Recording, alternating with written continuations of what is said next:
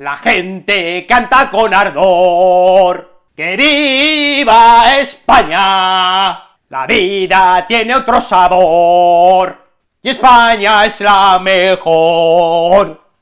Hola amigos de Spanish from Spain, ¿qué tal? ¿Cómo estáis? Bueno, como veis yo estoy en plena forma, después de haber superado, estando ya en mi último día de coronavirus, pues, bueno, como veis estoy sencillamente espléndido, así que, bueno, afortunadamente estaba vacunado y la cosa no ha sido grave, ¿vale? Ha sido un resfriado largo, ¿vale? Pesado también, pero simplemente un resfriado. Hoy vamos a dar una clase más informal, menos encorsetada, rígida, académica, normativa, estricta, rigurosa. Claro, porque vamos a hablar de curiosidades, curiosidades de España y del español.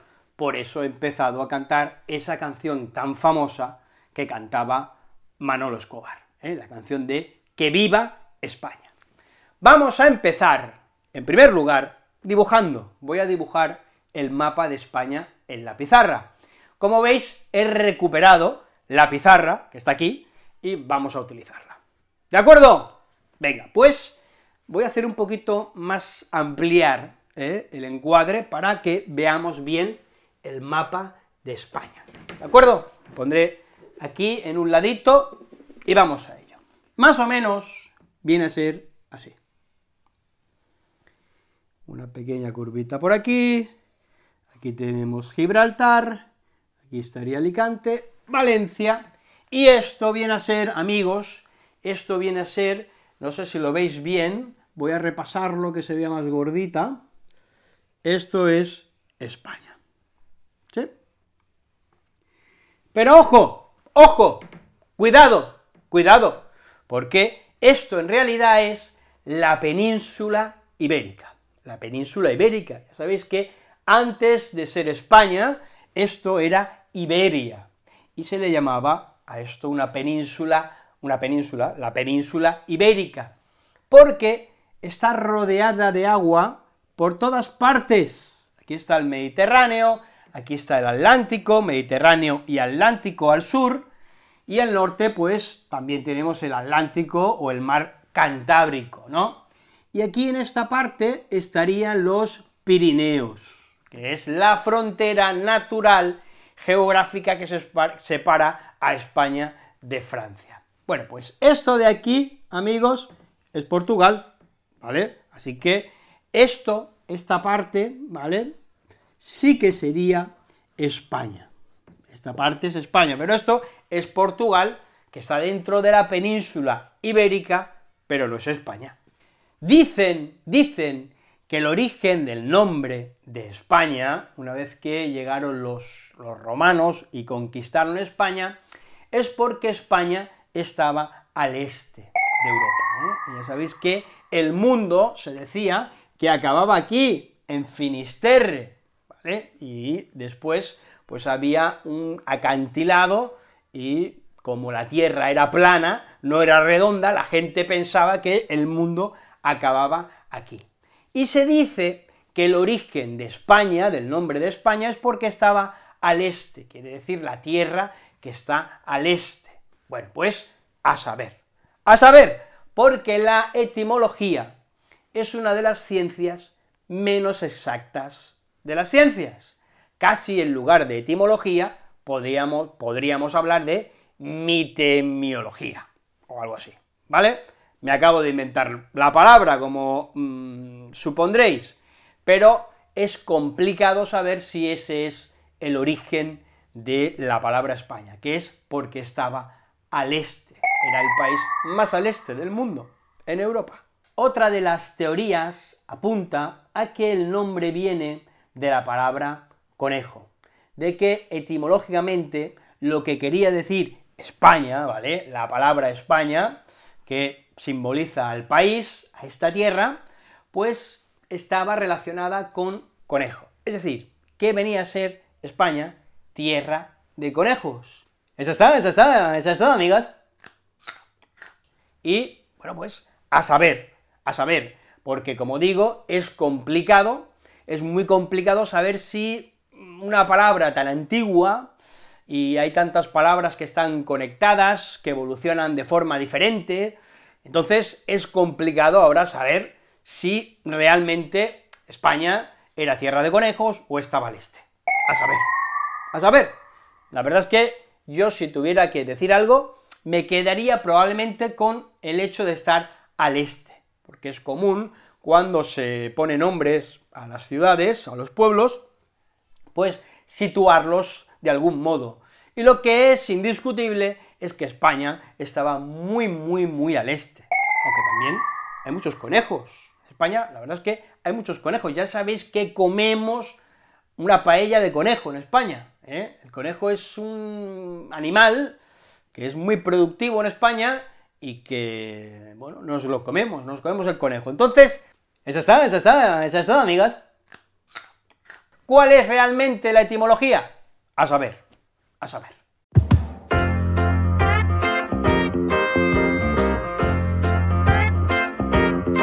¿Sabéis lo que pasa? Que de tanto hablar de conejo, me ha entrado hambre. Que si conejo, que si paella. Así que, ¿por qué no hablamos un poquito de la palabra española tapa. ¿Vamos a tapear? ¿Sí? ¿Os parece bien? Venga, pues vamos a tapear. Ahora estamos mucho mejor, mucho mejor. ¿Dónde va a parar? No hay comparación.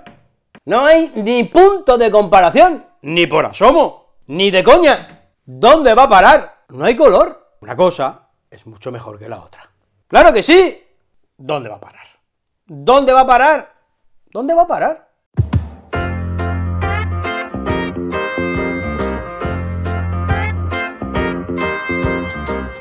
¿Dónde va a parar? Bueno, el tema es que el origen de la palabra tapa se piensa, se piensa eh, que es porque se ponía el pan, se sacaba, eh, bueno, pues embutido, aquí tenemos embutido, salchichón, ¿vale?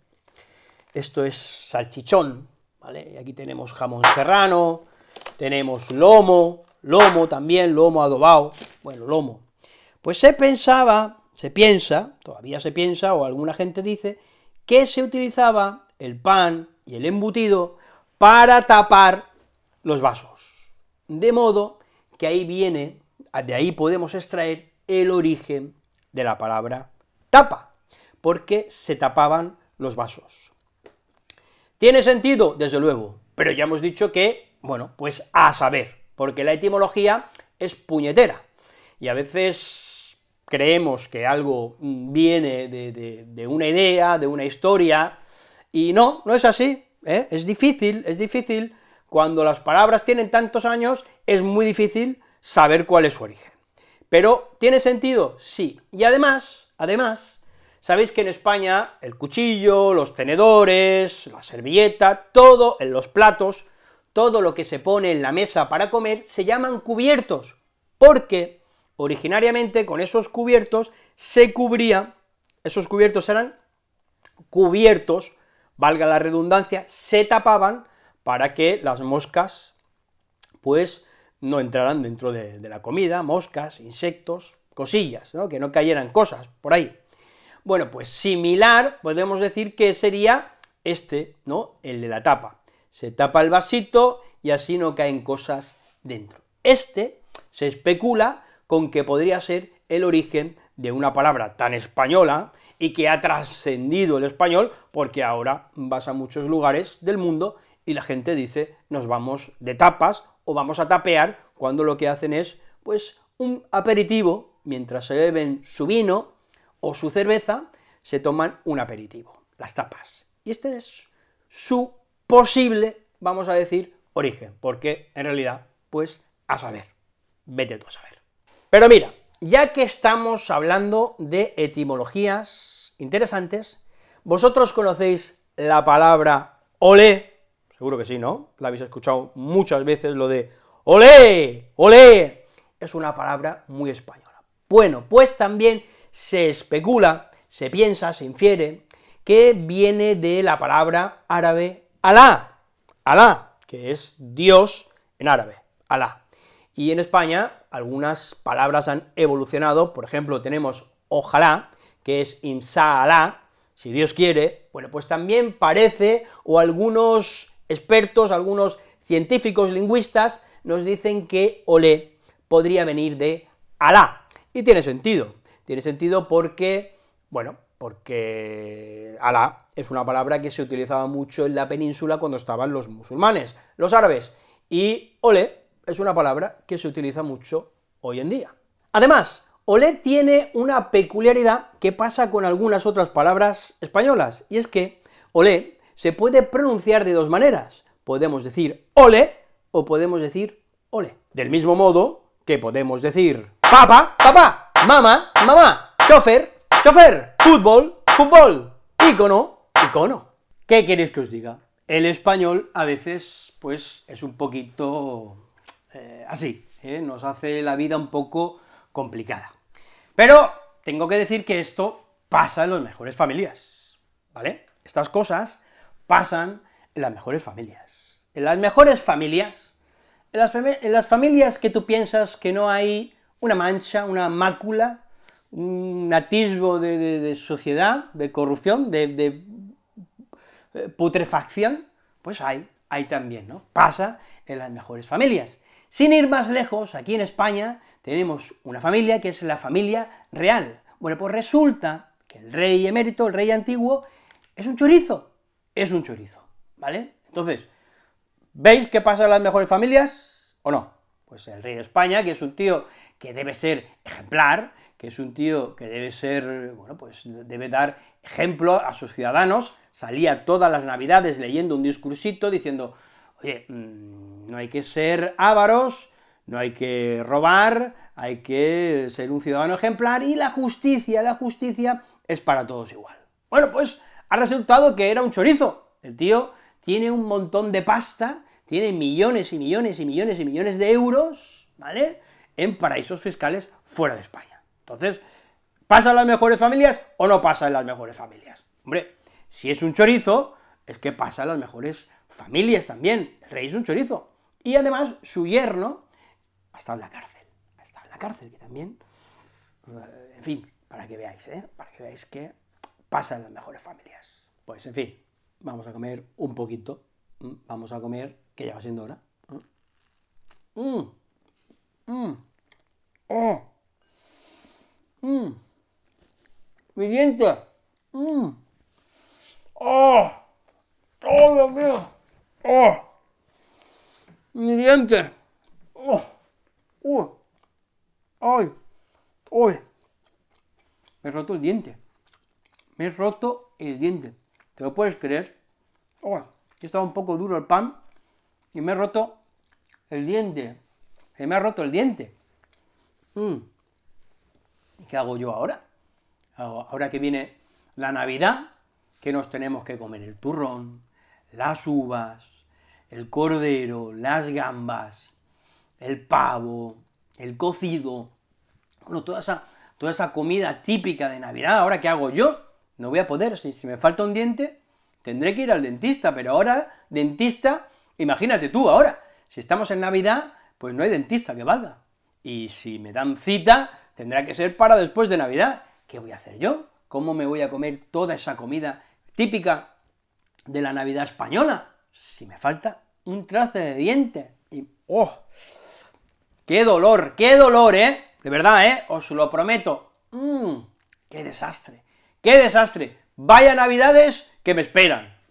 Ah, hablando de dientes, mira, otra cosa peculiar que diferencia a España de otros países y de otras culturas es que nosotros no tenemos hada de los dientes. No, no, nosotros no tenemos hada de los dientes. Nosotros tenemos al ratoncito Pérez, al ratoncito Pérez. Pérez, que es un apellido bien español. Sin ir más lejos, mi chica se apellida Pérez y mis hijos, por lo tanto, también se apellidan Pérez, porque en España conservamos el apellido del padre y de la madre. Bueno, el del padre va primero, es un poco machista esto, y el de la madre va después, pero, bueno, mis hijos se llaman Pérez, Pérez, y tenemos el ratoncito Pérez, que es el encargado de recolectar los dientes de los niños que se caen, sacar los dientes de los niños, los primeros dientes son de leche, decimos dientes de leche, y los siguientes dientes ya son de marfil y no se caen, pero los primeros son de leche. Y el ratoncito Pérez lo que hace es, por la noche, coger ese diente y dejar un sobrecito de dinero, algunas monedas para los niños. ¿eh? Nosotros tenemos al ratoncito Pérez. Y ya está, amigos, amigas, estudiantes, que ya estoy de vuelta, ¿lo veis que sí? Que os dije que sí, que esta semana sí que estaré aquí, pues mira, aquí estamos. Hemos visto algunas anécdotas de la lengua española de España y además hemos aprendido algunas expresiones idiomáticas que siempre viene bien, pues, tener en el zurrón, en el zurrón del español, para ir sacándolas y impresionar a las personas que nos escuchan. Que tengáis una semana estupenda, la vida puede ser maravillosa, claro que sí, le das al like, compartís, suscribís y nos vemos la semana que viene. Os quiero un montón, cuidaos mucho y ¡Feliz Navidad! ¡Feliz Navidad! Chicos, chicas, ¡Feliz Navidad! ¡Feliz Navidad! ¡Uh